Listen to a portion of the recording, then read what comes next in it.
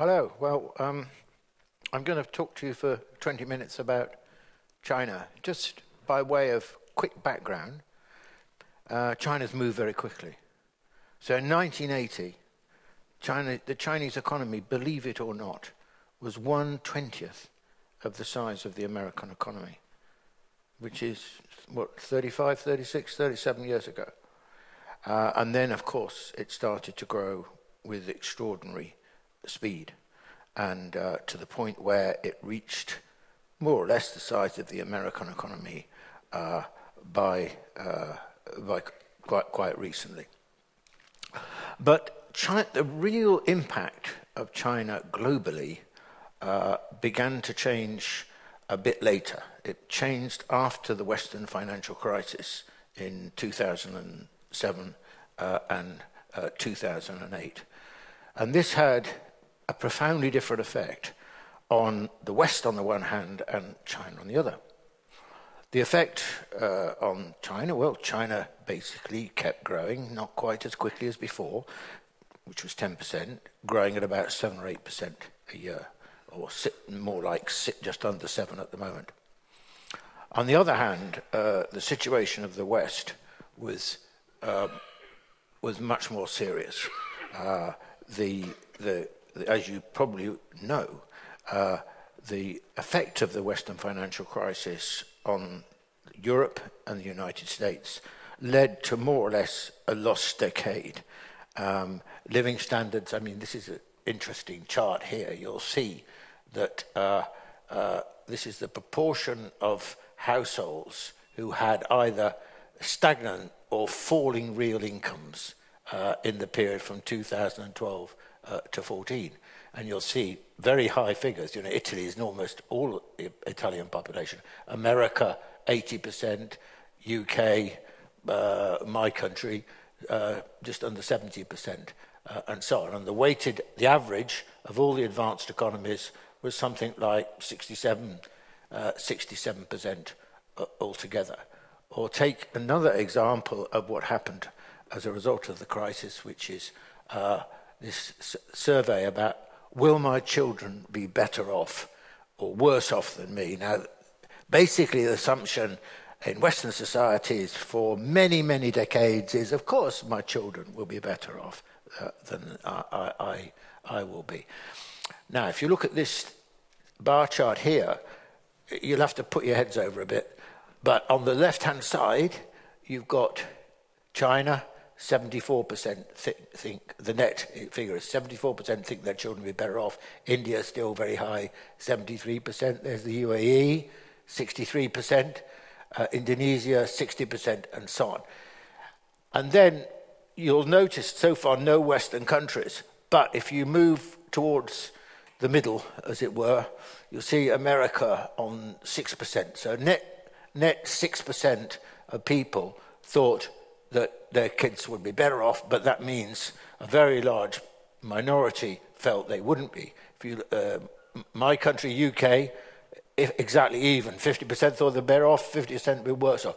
And then all the countries on the right-hand side, they're mainly Europe, Netherlands, Sweden, Switzerland, Australia, Spain, etc., all thought, and Japan, uh, all thought that their um, kids would be worse off. Now, that is a real barometer, I think, of pessimism, uh, that there's a sort of collapse in, uh, in, in, in, people's view uh, of, of the prospects, their prospects in the coming period. Now, in 2014, uh, this survey conducted by the World Comparison Program of the World Bank, uh, you can see this is the growth this is the growth of GDP, which basically is the size of the economy, and China's the red line, and the United States is the blue line. And you can see extraordinary uh, the way in which um, uh, uh, in 2014, by a particular measure, the Chinese economy uh, overtook uh, the size uh, of the uh, American economy. So uh, that was a, a, a, great change. And meanwhile, uh, look at the uh, uh living standards. GDP per capita is basically a measure of li living standards. And the Chinese, you see, starting in 1980, took a while for living standards to really take off.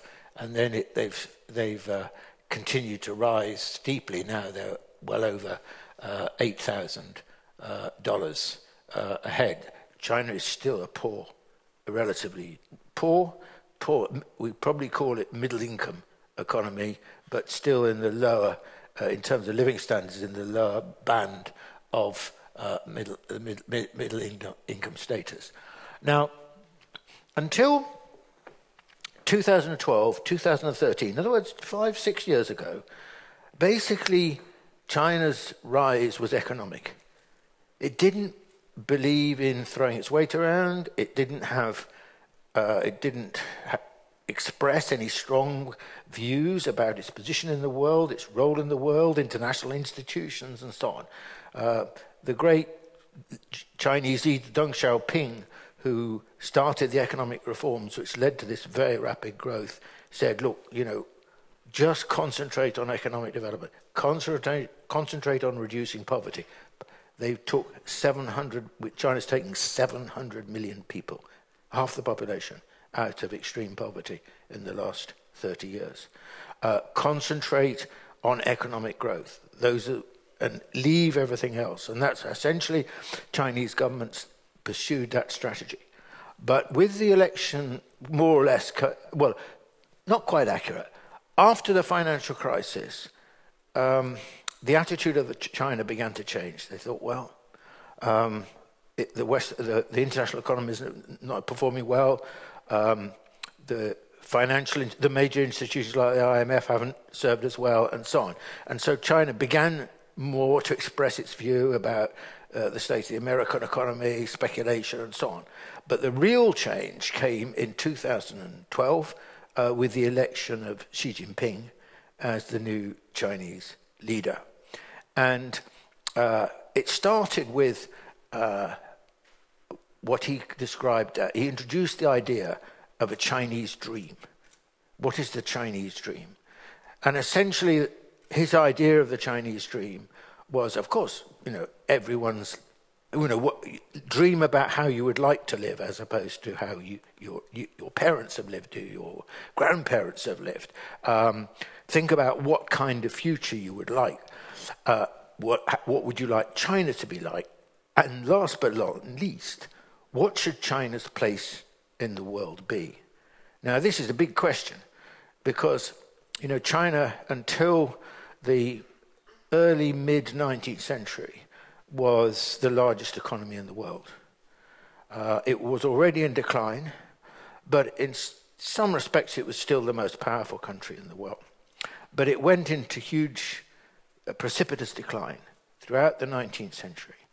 Um, it was uh, the, the, the, Opium Wars, which were fought, fought, by Britain against China, forcing China to open its uh, borders uh, to uh, the consumption of opium, um, were a particularly kind of um, humiliating experience for the Chinese.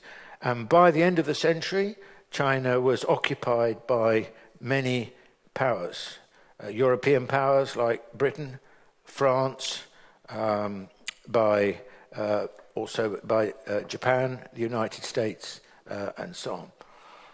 And by the end of the 19th century, basically China was so weak that it was forced essentially to adopt the, the sort of inter, the Western norms of the international system. Because China isn't really in any conventional state, it's a in any conventional sense, it's not really a nation state. Uh, it's a civilization state. It had to abandon all that. It was forced to become like any other country, in China had not thought of itself uh, in those terms ever, really, it, but certainly never in its, in its history. So that there was a particular meaning, particular poignancy uh, in China, the Chinese dream, dreaming of China having a different kind of place in the world from what it had really for well over a century. So, the, and the Chinese dream uh, was the beginnings of the Chinese beginning to express themselves in a different way, to see the, the, the place of China and, uh, and the Chinese uh, in uh, a different way. Now, uh, a consequence of this was that the, um, the, the, the also China, instead of being, you know, everything's being done sotto voce, you know, very quiet, uh, not criticizing others and so on, China began to have express stronger views. And instead of just being a sort of follower of globalization and being relatively passive in its relationship with the United States, China became much more proactive, if you like, a maker and a shaper of globalization, which it never been. You know, it was a beneficiary in many ways of globalization, but not a maker of it. In fact, Americans used to criticize it, you know, you're a free rider, you're trying to take advantage uh, of public goods provided by us, etc. So, um, but the most dramatic uh, uh, uh, expression of the new Chinese approach uh, was this. this is, um, I don't know whether you've heard of it, uh, but I'm sure a lot of you have, which is the, Belt, the Great Belt and Road Initiative, the Belt and Road Project.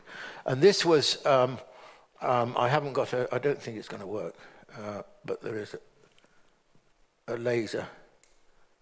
Never mind, it doesn't matter. You'll have to. Um, the, the, um, the idea was the transformation of the Eurasian landmass. Eurasian landmass starts on the Pacific coast and goes all the way over to the furthest point, I suppose, is Portugal uh, on the European uh, uh, mainland, or maybe Ireland uh, off, the, off the UK coast. And this is home to about two thirds of the world's population. So it's extremely important. But most of it, or, uh, yeah, most of it is very poor. I mean, obviously the European end isn't poor, but the European end is a small, relatively small minority of the population.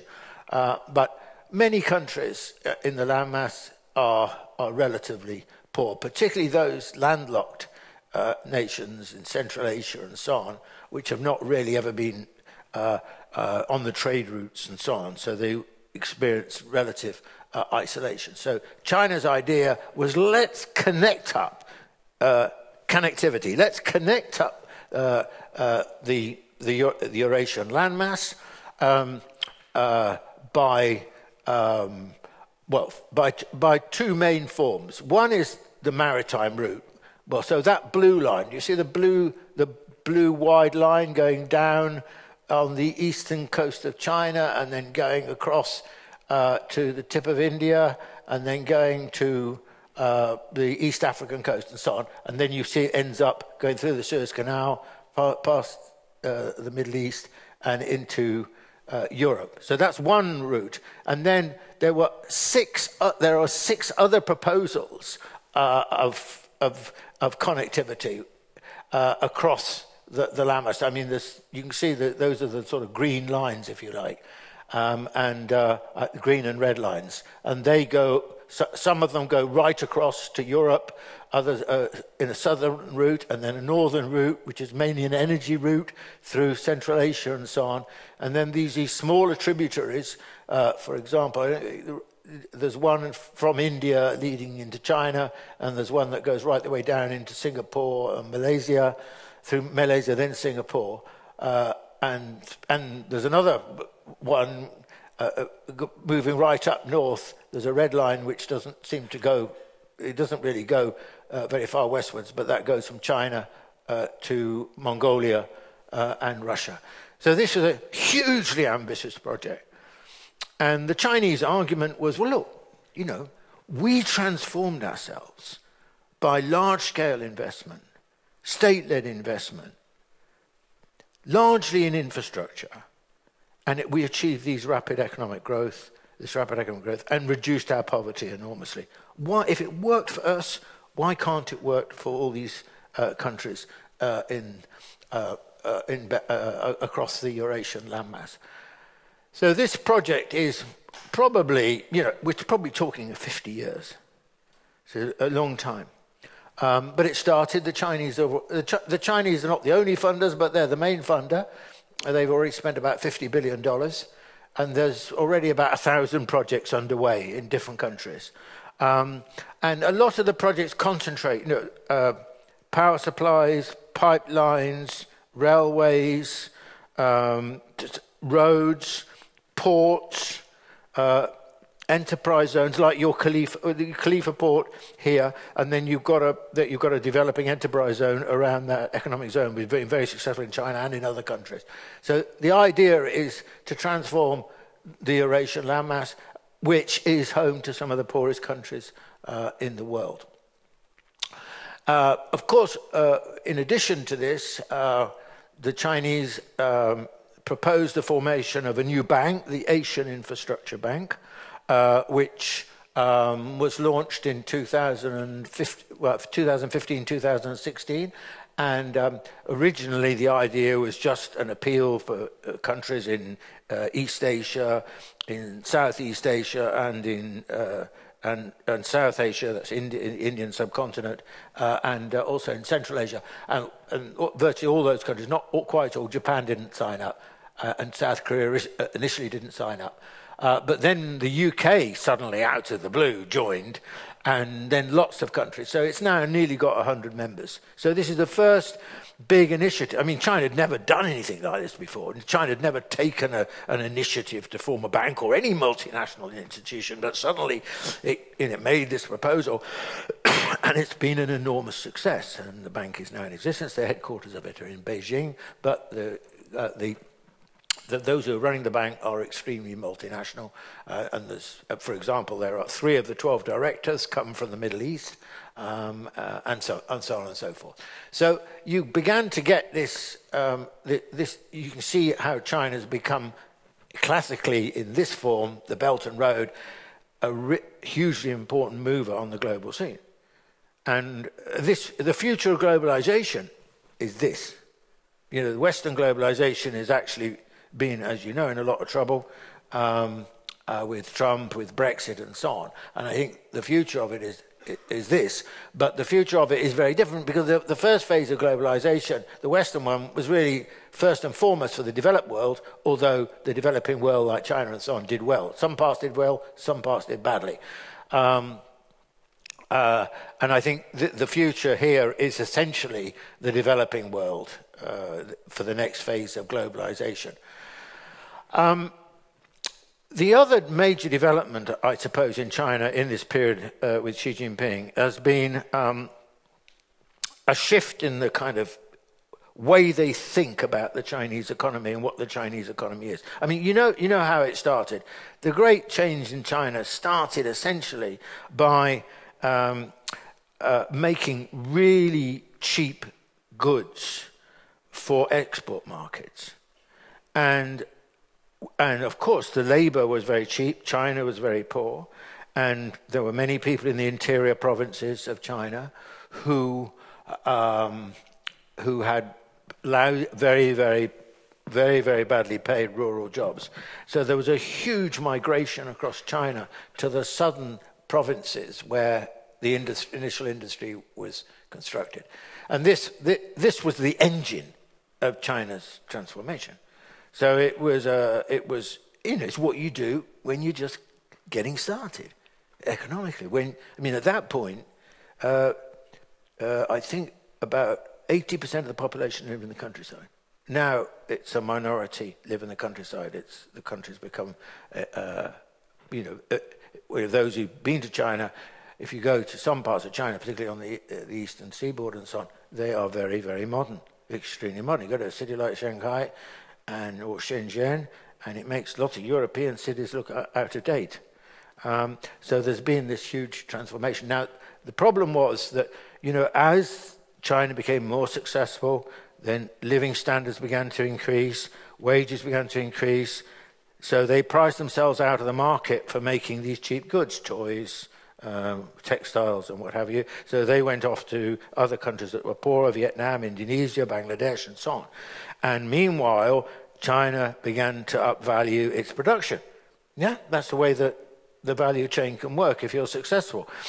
And so, what happened uh, basically, China was no longer where it was. It couldn't have that kind of economy. It couldn't just be based on cheap production, cheap labor, uh, uh, low skilled, not much sophisticated uh, capital equipment for export markets. It needed to change. And so during the Xi Jinping period, the other big shift has been what type of economy? and to basically try and move towards a much uh, more sophisticated economy, making high value products uh, with a well, well trained labor force and with uh, very good capital equipment, and not least for domestic consumption. In other words, although China is the biggest exporter in the world, not to be so dependent on exports.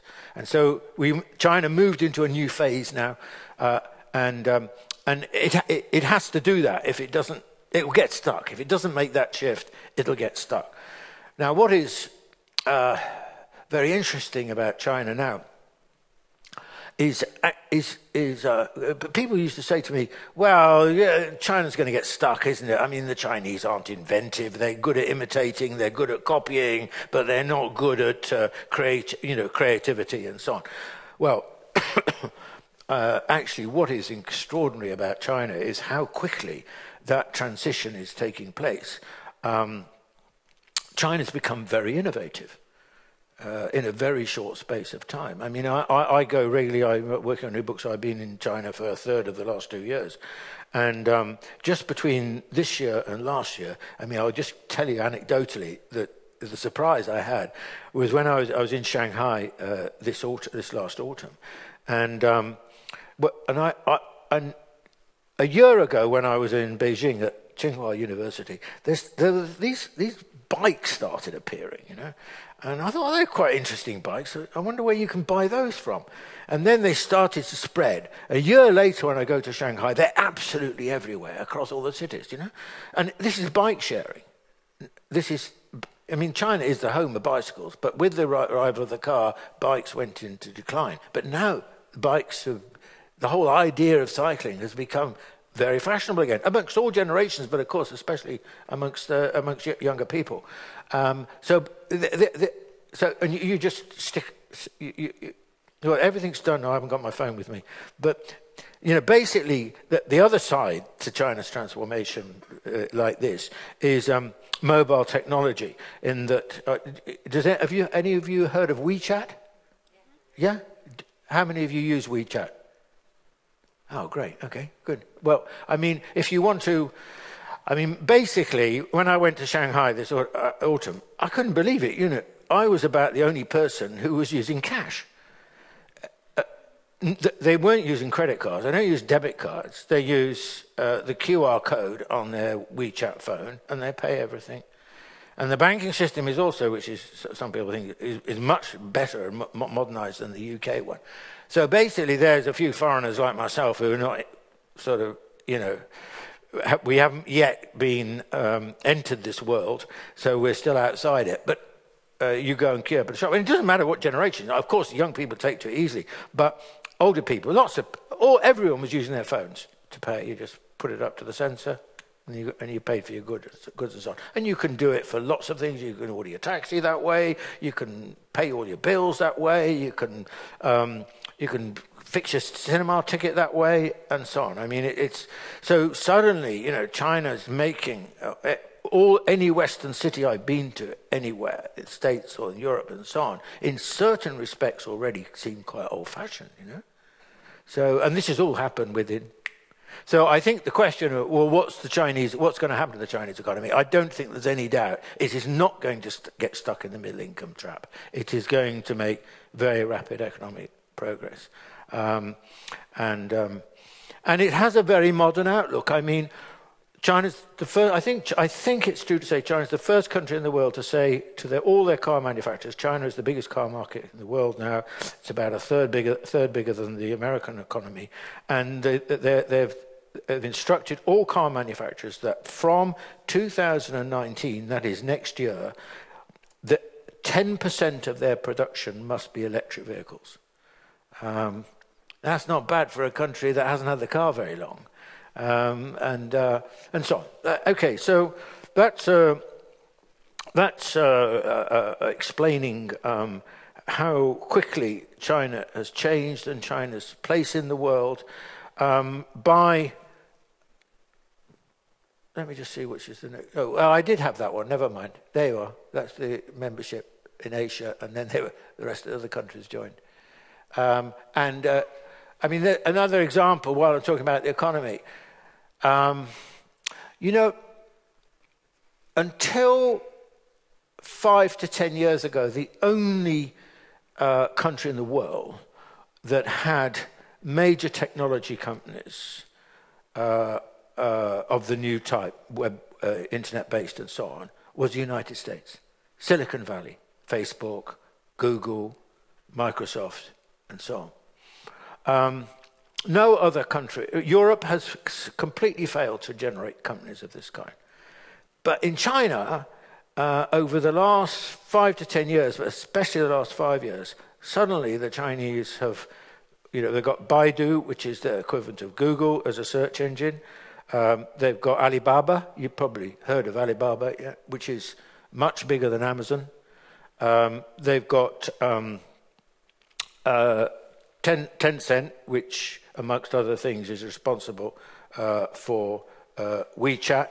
They've got Huawei, which is, uh, well, I'm missing something. Uh, Huawei, which is a manufacturer of, uh, of very good phones and telecom equipment and so on. So China is performing in the most, uh, you know, the mod most modern tech sectors with uh, with growing effect. And in some areas, as I say, not all areas, most areas I think it's still behind the United States, but insofar as um, mobile technology is concerned, in some areas of mobile technology, they're now ahead uh, of uh, Silicon uh, Valley, uh, which, is, you know, which is remarkable, really.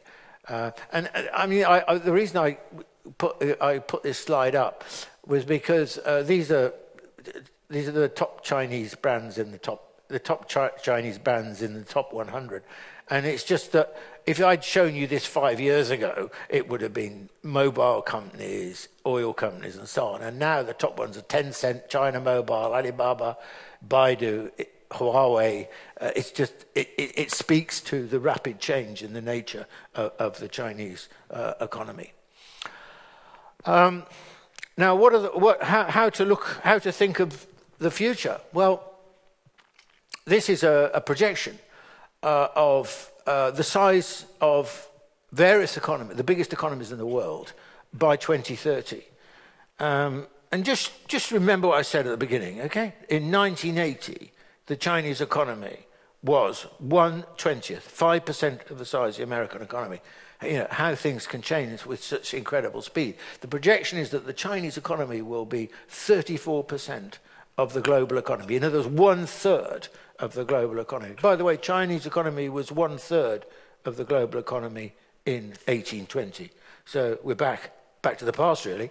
Um, and then in India, the second at 19%, and America is only 15%. And the American economy would be, well, not on this projection, less than half the size uh, of the Chinese economy. Um, and the EU, 30%. So if you put EU and the US together, 28%, it's a lot smaller uh, than uh, the, the Chinese economy.